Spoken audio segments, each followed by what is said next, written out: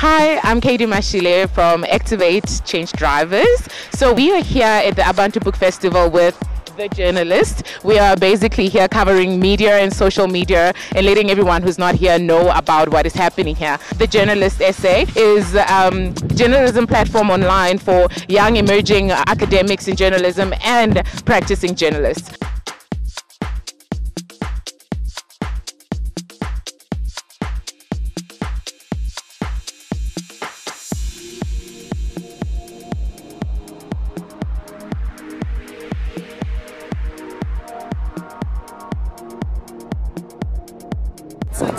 For us to be here at the Abantu Festival. It's aligned to everything that we are about. It's wonderful to be able to celebrate African authors, celebrate our stories, expose our children to our stories. We're loving it, yeah. We're meeting so many people that we're creating relationships with.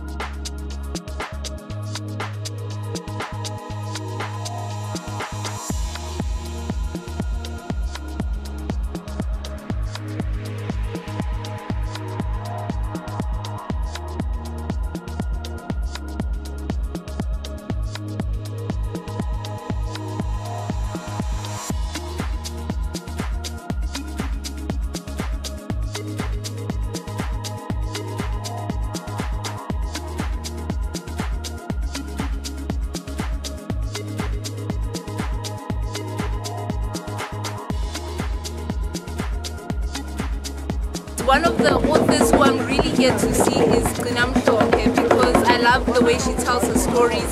She really is a motivational and inspirational writer who tells her stories in vernacular, which is what I support. I actually came late, but I literally came for Chimamanda.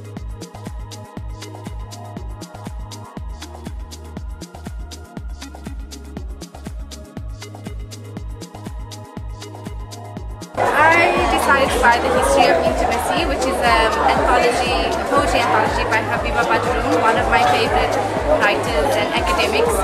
Um, she loves it, so this will be the perfect gift for her, I think. Also, my gesture to her to say, to put it in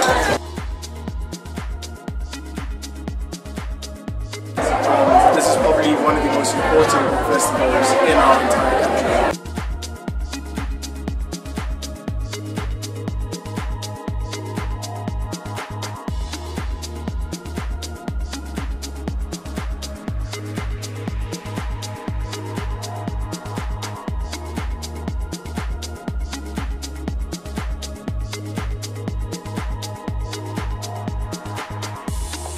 Let our voices ring, soft and strong.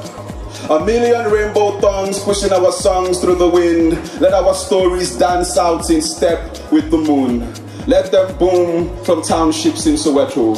Rise through the sprawls of Cairo, straddle the contradictions of Lagos. Let them tell of sweat and fear, of backs bent to carry dreams too heavy for legs to bear, of old men whose visions of the future tie us to the past. Let our voices come accompanied by djembes, talking drums, and all that jazz. Let our stories speak of probing tongues and grinding thighs against the Nairobi heat, of love that rises from the ashes of defeat in Kigali. Tapestries of our humanity woven into beautiful colors of difference and diversity. This is who we are. Children of histories punctuated by conferences, divided by white people in Berlin, defended by storytellers in Makerere, united by this struggle to be and prove that we are something more than the soft underbelly of a world perched on the edge of a knife, and time and again it is to these voices we turn to remind us that we get past the pain, that we have once chiseled out beauty from the mountains of self doubt, and through the dark tunnels of despair, these stories will lead us out